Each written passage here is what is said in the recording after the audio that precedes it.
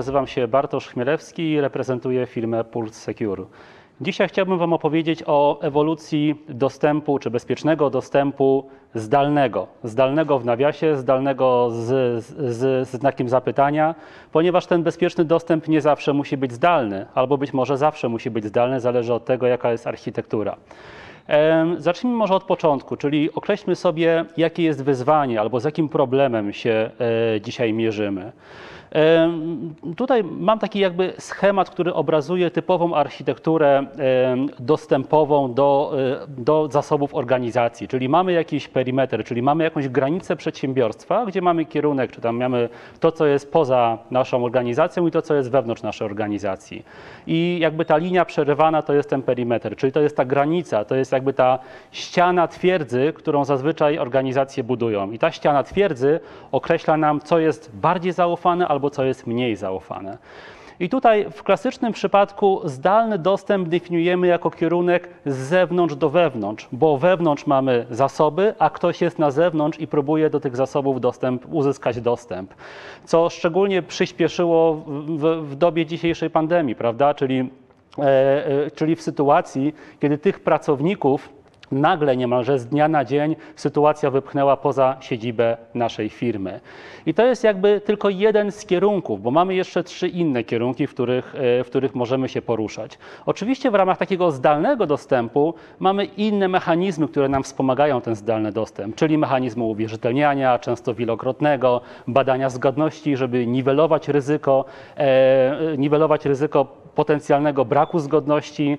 Dalej role-based access control, czyli odpowiednie mapowanie na rolę, czyli zgodnie z zasadą least privilege, żeby użytkownik miał najmniejsze możliwe przywileje, e, żeby realizował swoje zadania. Ale mamy też oczywiście inne kierunki. E, czyli jak Inside In, co jest najczęściej realizowane poprzez różnego, rodzaju systemy nakowe, czy ogólnie kontroli dostępu wewnętrznego. One też są niezmiernie istotne, bo w ramach architektury Zero Trust pamiętajmy, że nie możemy ufać nikomu, niezależnie od tego, czy jest na zewnątrz, czy jest wewnątrz naszej organizacji. E, Mamy też jeszcze dwa inne kierunki, czyli kierunek, em, który jest definiowany jako outside all- out, czyli z zewnątrz do zewnątrz. To w sytuacji, kiedy ktoś jest poza naszą twierdzą, tak to nazwijmy, i ma dostęp do aplikacji również poza naszą twierdzą, czyli do aplikacji czy SaaS-owych, czy IaaS-owych, gdzieś rozlokowanych w jakiejś chmurze, najczęściej publicznej. No i ostatni kierunek, który jest troszeczkę podobny do tego poprzedniego kierunku, czyli outside out. W tym momencie mówimy o inside out, czyli ktoś jest wewnątrz organizacji, ale również ma dostęp do zasobów, które są poza naszą organizacją, poza naszą twierdzą. I te wszystkie kierunki musimy rozważać, żeby mówić o architekturze Zero Trust, bo jeżeli mówimy, że ktoś ma uzyskać dostęp do czegoś i co więcej, on z definicji mamy mu nie ufać i to zaufanie dopiero zdobyć poprzez różne mechanizmy, czy autoryzacji, czy ciągłego badania zgodności, no to musimy te wszystkie kierunki rozważać.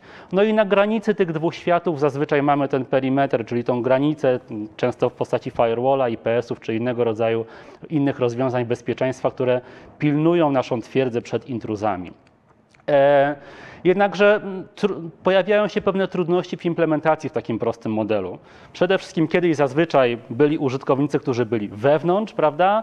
E, lub na zewnątrz i była jedna twierdza, czyli była jedna, jedno data center, jedna organizacja.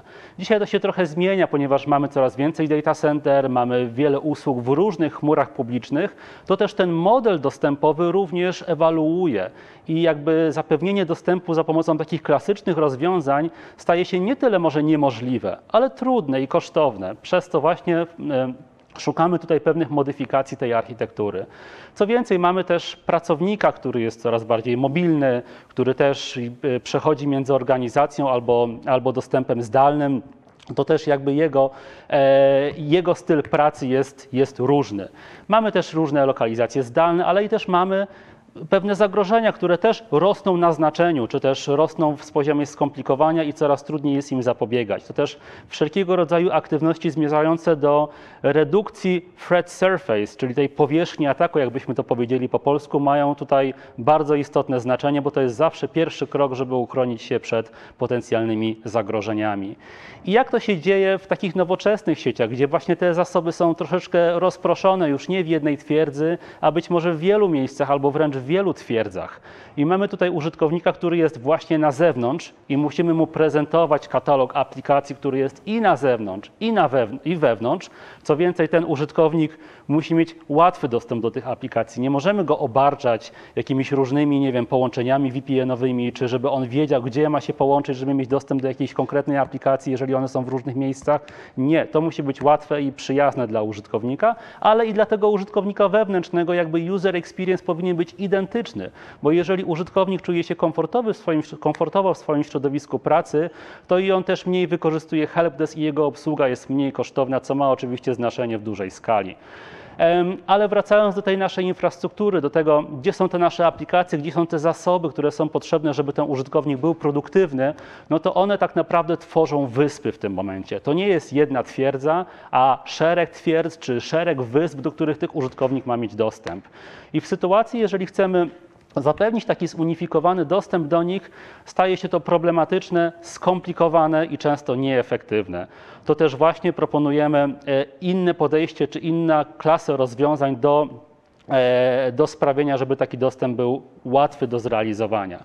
Czyli jakie jest rozwiązanie tego, tego problemu? Problemu, w którym mamy tę infrastrukturę gdzieś rozproszoną w różnych miejscach. I tutaj Cloud Security Alliance wyszedł z taką inicjatywą. e, W 2013 roku opublikował dokument, który definiuje architekturę, która nazywa się Software Defined Perimeter. Ja tu używam akronimu SDP, e, który właśnie to oznacza, w którym to mamy Mówiąc w bardzo prosty sposób, mamy dodatkowy element w postaci tak zwanego SDP kontrolera, który zarządza bezpiecznym dostępem. On jest niejako pośrednikiem, który ma nam za zadanie e, przeprowadzić część procesów, czyli na przykład autoryzację, na przykład właśnie compliance checking, e, czy odpowiednie mapowanie użytkownika na rolę, ale później przekierować go do bramki dostępowej, za którą ten zasób jest faktycznie. I ta bramka dostępowa, ona może być zlokalizowana czy to jakby waszym data center, czy to może być zlokalizowane w Azure, czy w Amazonie, czy w innej chmurze publicznej. Mm, Wszędzie tam, gdzie de facto są aplikacje. I w przypadku takiej architektury użytkownik, ten końcowy użytkownik, zyskuje to, że on tak naprawdę nie musi się martwić, gdzie są zasoby, a to IT definiuje dokładnie, gdzie te zasoby dokładnie są, czyli z jaki tunel de facto zostanie wygenerowany po tym, jak użytkownik się uwierzytelni. I to sprawia, że zarządzanie dostępem do środowisk czy do zasobów tak naprawdę, które są gdzieś tam rozproszone, staje się dużo łatwiejsze i jest de facto możliwe do zrealizowania. Czyli tutaj jakby na tym, e, na tym slajdzie mamy taki prosty model, czyli mamy użytkownika i bramkę VPN-ową. To jest taką najprostsza rzecz, która jest zrealizowana najczęściej w organizacjach, czyli mamy jedną stronę i drugą stronę. Ta bramka VPN-owa jest czymś w postaci no, takim proxy, za którym są bezpieczne zasoby. Powinny być bezpieczne zasoby i to użytkownik re- realizuje bezpośredni tunel. W przypadku tego nowego podejścia w oparciu o właśnie o tą infrastrukturę Software Defined Perimeter, którą e, Cloud Association zdefiniowało, mamy właśnie ten element pośredni, ten kontroler, który u nas jako produkcie, ale tu chodzi o wyjaśnienie samej idei, nazywa się PZTA SAS, e, SAS Controller, czy po prostu PZTA Controller. I tutaj jakby flow jest następujący, co oznacza, że użytkownik de facto najpierw łączy się z kontrolerem, tam się uwierzytelnia, robi to wieloskładnikowe uwierzytelnianie, robi tak zwany onboarding, jeżeli jest potrzebny. I po zestawieniu takiej sesji, ta sesja może być trwała albo tymczasowa, dopiero wtedy użytkownik jest przekierowany, a wcześniej prezentowane są mu zasoby, do których on może mieć dostęp, a dopiero później względem polityki on fizycznie otrzymuje dostęp do odpowiedniego zasobu, czyli jakby ten tunel jest tworzony już między klientem a bramką docelową. Tylko on jest tworzony w ostatnim etapie, kiedy już wszystko wiemy o tym kliencie. Czyli zgodnie z zasadą Zero Trust wiemy, kto to jest, jest odpowiednio uwierzytelniony, odpowiedni compliance, jest, odpowiedni compliance checking jest zrobiony i co więcej jest użyte mechanizm stałego sprawdzania zgodności tego, e, tego klienta.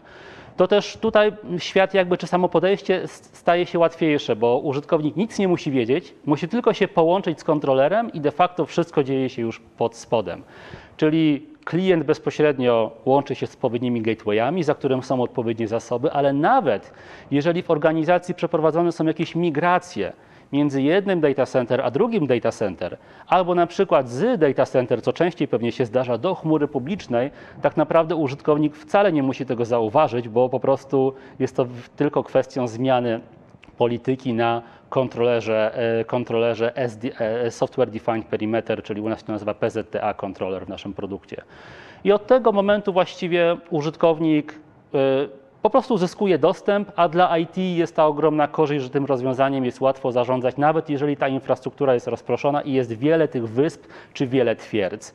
Oczywiście dla użytkowników, bo tu mówimy o dostępie do aplikacji, o VPN-ie zwykło się mówić, że jest to dostęp do sieci, który realizujemy zazwyczaj w celu dostępu do aplikacji, ale jest to troszeczkę szerszy dostęp. Ale dla użytkowników, którzy tego wymagają, oczywiście e, jest możliwe też e, jakby zestawienie wciąż VPN-ów jakby czyli jakby tego klasycznego podejścia. E, tutaj, tak jak powiedziałem przed chwilą, mamy e, wsparcie dla różnego rodzaju aplikacji. Tu martwimy się dostępem do aplikacji. Już nie do sieci, a do aplikacji. To jest też ta różnica. I tu aplikacje, tylko dla przykładu powiem, bo Oczywiście tutaj e, czasu jest na tyle mało, że nie wymienię wszystkich funkcjonalności, ale ta aplikacja to może być zdefiniowana jako strona webowa, czy portal webowy, czy zdalny pulpit, czy dostęp SSH na przykład, prawda, czy jakieś konkretne połączenie TCP, jeżeli używamy grubego klienta. Dowolna aplikacja tak naprawdę, który po prostu generuje nam ruch i ona bezpośrednio łączy się z hostem docelowym, a my robimy wszystko, żeby to połączenie było, e, było możliwe. I jak powiedziałem wcześniej, Świetnie się to wpisuje właśnie w ideę Zero Trust, ponieważ ten kontroler, on jakby zarządza całym tym trustem, tym zaufaniem jakby długoterminowo, a później tylko jakby poza, jak jakby, no, poza sceną jakby, czy z tyłu gdzieś tam, e, gdzieś tam się zestawia jakby ten docelowy VPN powiedzmy, chociaż to nie jest taki klasyczny VPN, który faktycznie realizuje tą warstwę dostępową do danej aplikacji czy do danego zasobu. I jak powiedziałem wcześniej, zgodnie z modelem Zero Trust ten compliance, czy ta autoryzacja, no musi być wieloskładnikowa, compliance stale musi być sprawdzany, to też w razie czego ten dostęp może być w każdej chwili odcięty, jeżeli też jest taka potrzeba. Skoro mamy też centralny komponent, no to też jakby daje nam to dodatkowe możliwości, bo możemy i odpowiednio oceniać ryzyko. Na przykład, jeżeli ktoś się łączy w różnych godzinach, czy z różnych lokalizacji, czy poza godzinami pracy, e, czy z nietypowej lokalizacji, nawet nie, że innej, a nietypowej, to też możemy taki poziom ryzyka jakby określać dla każdego dostępu i przez to łatwiej nam wykrywać anomalie, czyli threat detection and response, czyli jeżeli wykryliśmy jakąś anomalię, podejrzenie, to możemy również zareagować. I jakby cała ta koncepcja świetnie wpisuje się w model Dark Cloud. Zresztą z SDP jest często nazywany Dark Cloud. Dark Cloud oznacza, że e, dla klientów, którzy nie są, jakby nie mają certyfikatu, czyli nie są zonboardingowani, czy tam e, e, jakby to powiedzieć, nie, nie są wprowadzeni w system, to jakby czy kontroler, czy brama dostępowa jest niewidoczna, ponieważ jest to realizowane przez MTLS, więc póki nie ma certyfikatu, póki nie ma odpowiedniego materiału kryptograficznego, tam nawet nie ma co zeskanować. Także z punktu widzenia bezpieczeństwa jest to świetna możliwość redukcji właśnie tej powierzchni ataku, z uwagi na to, że, że tam żaden ruch nie zostanie zaakceptowany, kompletnie żaden, co się właśnie wpisuje w tą ideę Dark Clouda, no i również ta analityka, o której częściowo wspomniałem, czyli jeden centralny e, e, komponent, w którym w którym tą analitykę możemy przeprowadzić, co też jest bardzo istotne z punktu widzenia bezpieczeństwa, bo im analityka jest wyższej jakości, tym też wyższej jakości jest poziom bezpieczeństwa danej organizacji, bo na dobrych informacjach najczęściej opieramy swoje decyzje, e, które podejmujemy w ramach zabezpieczenia naszych organizacji. I tutaj krótko o zaletach, czyli jako firma, jako Pulse Secure mamy tutaj wieloletnie doświadczenie w zdalnym i lokalnym dostępie, ale również jest to i jakby przyszłościowa platforma, i wysoko dostępna, i centralna widoczność. To o, tylko powiem o kilku zaletach jakby takiego podejścia ponad klasyczne rozwiązania VPN. Zresztą nawet po, po, przed pandemią jeszcze często mówiło się, że VPN is dead. Tak jak często się mówi, że antywirus is dead, ale praktyka pokazuje, że jednak większość klientów tego VPN-a wciąż używa tak naprawdę może nie, że dead, a szukamy dla niego jakby dalszej drogi czy ewolucji, która zaadoptuje go do e, dalszych wymagań. I tu już mam ostatni slajd. Gartner swojego czasu zdefiniował, czym ten Zero Trust jest, bo o Zero Trustie w ogóle się bardzo dużo mówi, czy na konferencjach, czy w różnych prezentacjach.